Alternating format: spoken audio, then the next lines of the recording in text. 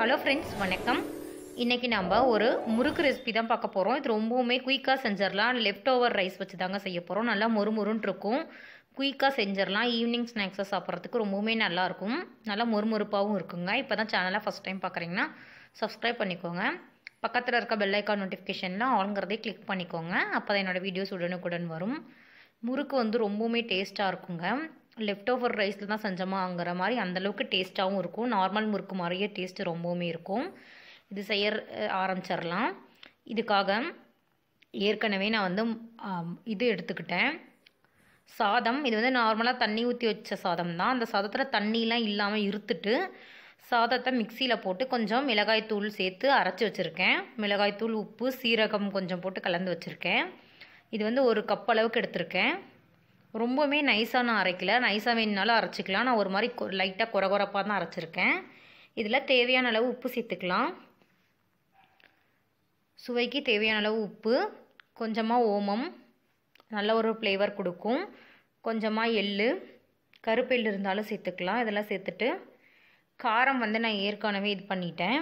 அதனால் இப்போ காரம் சேர்க்கல. அரை கப் அளவுக்கு பொட்டுக்கடல மாவு பொ- பொட்டுக்கடல மாவு நல்லா நைஸாக இருக்கணும். அரை கப் அளவுக்கு அரிசி மாவு எடுத்துக்கலாம். நம்ம ஒரு கப் அளவுக்கு வந்து ரைஸ் எடுத்திருக்கோம்.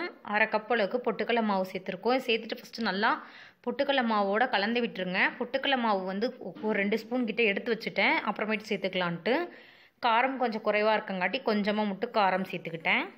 இப்போ ஒரு கப் அளவுக்கு சின்ன கப் இது. அரை கப் அளவுக்கு அரிசி மாவு அரை கப் அரிசி மாவு அரை கப் பொட்டுக்கடலை மாவு ஒரு கப் வந்து சாதம் எடுத்துருக்கேங்க. இந்த போல் போட்டு மிக்ஸ் பண்ணுங்கள் மிக்ஸ் பண்ண மிக்ஸ் பண்ண நம்மளுக்கு கரெக்டாக பதம் வரும். அப்படி வந்து ரொம்பவுமே பிசு பிசுப்பாக இருந்ததுன்னா இன்னும் கொஞ்சம் அரிசி மாவும் பொட்டுக்கடலை பொடியும் நான் எடுத்து வச்சுருந்த பொட்டுக்கடலை பொடி எல்லாமே சேர்த்துட்டேன். நல்லா கலந்து விடுங்க. இந்த மாவு வந்து நார்மல் இதை விட ரொம்பவுமே சாஃப்டாக இருக்கும். ஏன்னா நம்ம சாதத்தில் செய்கிறங்காட்டி சாதம் ரொம்பவுமே சாஃப்டாக இருக்கும். அதனால நல்லா இது போல் எல்லாமே கலந்தாச்சு. கையில் லைட்டாக ஆயில் தடவிட்டு அது மேலே இது பண்ணிக்கோங்க. இப்போ வந்து இதை முறுக்கச்சில் சேர்த்துக்கோங்க எந்த அளவுக்கு பால்ஸ் வேணுமோ எடுத்துகிட்டு எந்த ஷேப் நான் வந்து வேணுமோ அதை வச்சுக்கலாம். நான் இன்றைக்கி ஸ்டார் இதில் தான் செய்ய போகிறேன் ரொம்பவுமே சாஃப்டாக தான் இருக்கும். இது போல் ஆயில் கவரில் வந்து எல்லாமே சுற்றிக்கலாம் ஃபஸ்ட்டு இந்த மாதிரி சுற்றி வச்சுட்டு போடும்போது நம்மளுக்கு குயிக்காக செய்ய ஆரம்பிச்சிடோம்னா அதுக்காக இந்த மாதிரி நான் வந்து முறுக்கு பிழிஞ்சிட்ருக்கேன் பாருங்கள் ஒட்டம் ஒட்டாது நல்லாவும் வந்துடும். ஆயில் வந்து இந்த ப்ராசஸ் செய்யும் போதே ஆயில் வந்து ஹீட் பண்ண வச்சுருக்கேன். இது போல் செஞ்சுக்கலாம். எந்த ஷேப் வேணாலும் செஞ்சுக்கலாம்.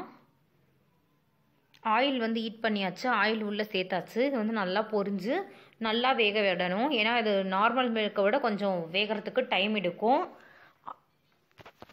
நல்லா வேக வச்சு எடுத்துக்கோங்க. இது வந்து நார்மல் முறுக்கு மாதிரி ரொம்பவும் கலர் வராது. ஒரு லைட்டாக தான் கலர் வரும். செவந்து வந்தவொடனே எடுத்துருங்க. ரொம்பவும் விட்டால் பார்த்திங்கன்னா முறுக்கு வந்து கரிஞ்சு போயிடும். நல்லா லோ ஃப்ளேமில் கூட வச்சு வேக வைங்க. ஏன்னா உள்ளே வந்து சாஃப்டாக இருக்கங்காட்டி நம்மளுக்கு அப்படியே எடுத்துட்டோம்னா அந்த சாஃப்டாக தான் இருக்கும். இதே போல் நான் பேட்ச் பேட்சாக முறுக்கெல்லாம் போட்டு எடுத்துக்கிட்டேன். நல்லா கொஞ்சம் வேக விட்டு எடுத்துக்கோங்க. அப்போ தான் நம்மளுக்கு நல்லா கிறிஸ்பியாக இருக்கும். நல்லா திருப்பி திருப்பி விட்டு வேக வைக்கணும். ஐ ஃப்ளேமில் வச்சிங்கன்னா மேலே மட்டும் இதாகிடும் உள்ளே வந்து நம்மளுக்கு வேகமாக போயிடும். ரொம்பவுமே சாஃப்டான மாதிரி இருக்கும். இப்போ வந்து நான் ஆயிலேருந்து எடுத்துக்கிட்டேன். இதே போல் அடுத்த பேட்சும் சேர்த்துக்கிறேன்.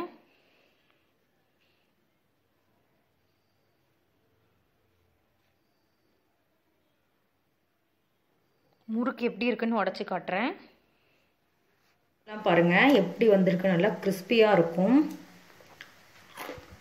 எல்லாம் முறுமுறுன்ட்டு இருக்கு பாருங்கள் ஒரு ஏர்டைட் பாக்ஸில் போட்டு ஸ்டோர் பண்ணிக்கோங்க. ஆனால் ரொம்ப நாள் இந்த முறுக்கு வந்து முறுமுறுப்பாக இருக்கும் கண்டிப்பாக இந்த ரெசிபி உங்களுக்கு பிடிச்சிருக்குன்ட்டு நினைக்கிறேன். வீடியோ பிடிச்சிருந்தா லைக் பண்ணுங்கள் யூஸ்ஃபுல்லாக இருந்தால் ஃப்ரெண்ட்ஸ் அண்ட் ரிலேட்டிவ்க்கு ஷேர் பண்ணிக்கோங்க. என்னோட மற்ற அப்டேட்டையும் செக் பண்ணிக்கோங்க. தேங்க்ஸ் ஃபார் வாட்சிங் பாய் ஃப்ரெண்ட்ஸ்